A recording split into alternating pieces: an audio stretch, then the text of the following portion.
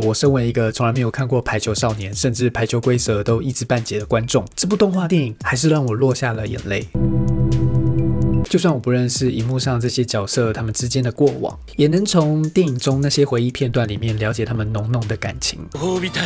运动漫画招牌的热血当然没有缺席，但更多的是令人感动的成长，甚至可以说是治愈了研磨的少年白。还有那个第一人称视角，真的也太神了，让人屏住呼吸，像是真的在排球场上一样。这集的故事是主角所属的乌野高中与宿敌英居高中的淘汰赛对决，双方各有代表动物的乌鸦和猫。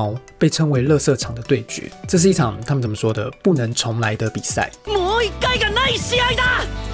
一场比赛下来，一定有胜也有败。很特别，也是我很喜欢的一点。这部剧场版将主角给了输球的那一方，毕竟失败或者是成为输家，是生活当中更多人会经历的。尽管荧幕上还是呈现了比赛两方你来我往的精彩对战，每个角色轮流表现，各自都有发光的时刻。但我真的很喜欢的是，这个故事描绘了主角在这场比赛当中找到比输赢更重要的快乐，或者说热情吗？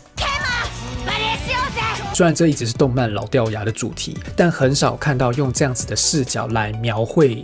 热情，所谓的热情是找到生活的动力，是不在乎成果、无悔的付出。尽管有先天的劣势，尽管有技不如人的悔恨，尽管冠军只有一个，但只要是对这件事情有热情，那便不会担心所谓的结果或成败，而是拼尽一切的决心便是所有。比赛结束前的那一刻便是永恒。热情可以把简单的事情变得很不寻常，可以把无味重复的每一天变出滋味。热情是升华一切的调味剂，更应该是我们确保自己拥有。的那一份心情，推荐你这部电影剧场版《排球少年》乐色场的决战。